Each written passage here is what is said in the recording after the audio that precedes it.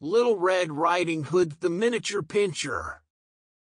In the heart of a forest lived a sweet little miniature pinscher named Red. She was called so because of her shiny red collar.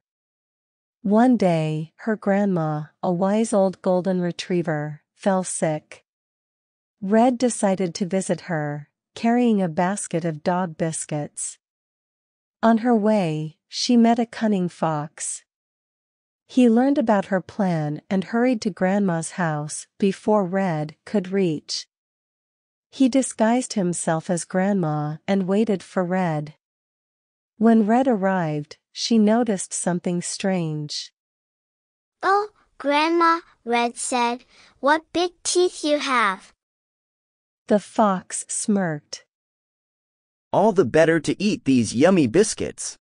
Just then, a group of squirrels, friends of Red, saw the fox through the window. They quickly gathered other forest animals, and together they chased the fox away, saving Red and Grandma. Red learned the importance of being cautious and not talking to strangers. She thanked her friends and shared the biscuits with them. Grandma recovered soon, and they all lived happily in the forest, knowing they could rely on each other. The moral of the story always be careful with strangers, and friendship is a powerful force. The Three Little Miniature Pinschers.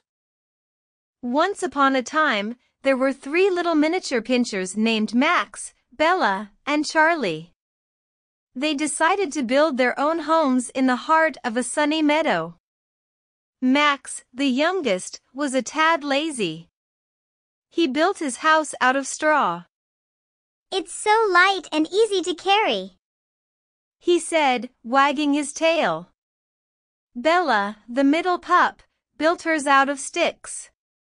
She thought it was fun to fetch them from the woods. Charlie, the oldest and wisest, worked hard to build a house out of bricks. One day, a mischievous cat named Whiskers came to the meadow. She saw the straw house and with a devilish grin, pounced on it. Max's house toppled over. Max quickly ran to Bella's house. Whiskers followed him, and with a leap and a bound, she knocked over the house of sticks as well. Max and Bella ran as fast as their little legs would carry them to Charlie's brick house. When Whiskers tried to knock over the brick house, she bounced off and landed on her bottom. She tried again and again, but the house stood firm. Defeated and tired, Whiskers finally gave up and slinked away. Max and Bella learned the importance of hard work from Charlie that day. They decided to build their new homes out of bricks, and they lived happily and safely ever after.